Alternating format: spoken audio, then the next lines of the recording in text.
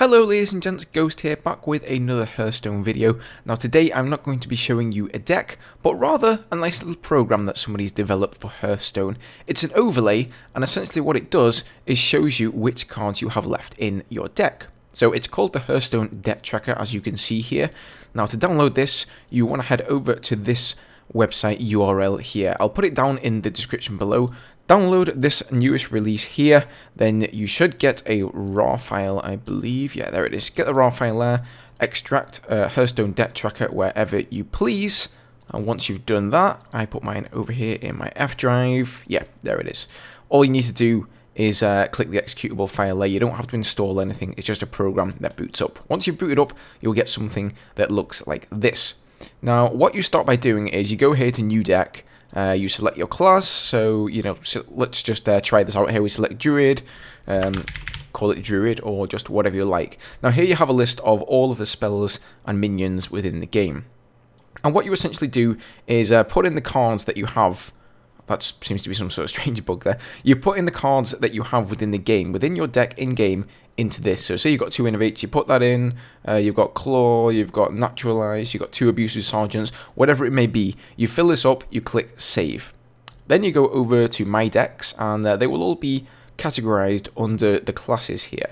And there's two ways of using this program. First of all, you can select a deck.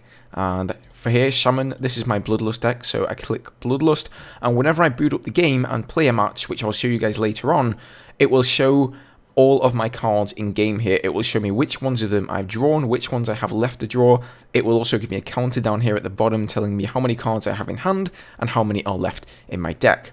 Now, not only that, but you can also use it another way. So if I click here this little button that says no deck, uh, what will actually happen is it will just start to list my cards as I draw them. So say you're playing Arena, you can't really be bothered to put your deck into this program, just click no deck and it will start to list the cards that you've drawn and in that way you can hopefully remember which ones you have left in the deck to draw.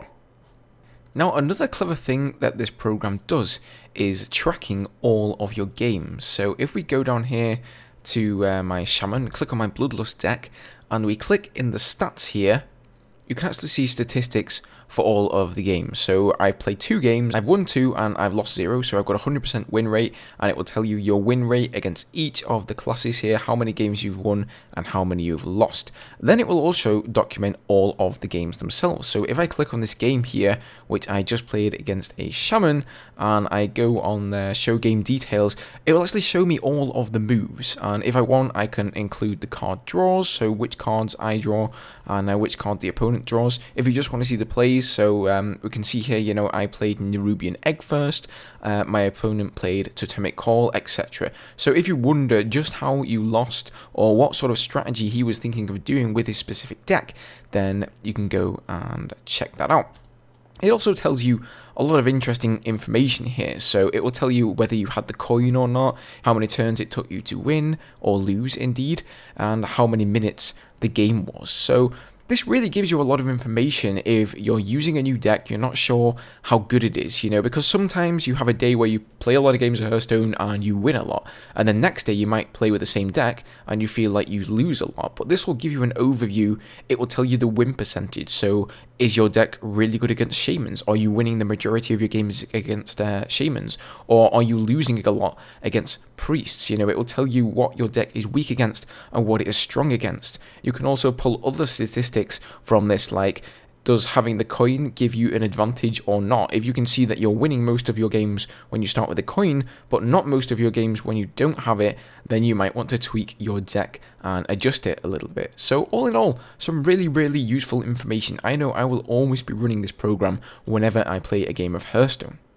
Okay, so this is a game of me playing on the Bloodlust Shaman deck. So you can see over on the right here, it lists all of the cards that I have in my deck in a nice little overlay on the right of the screen. It tells me how many cards I have in my hand underneath there, and also how many I have left in my deck.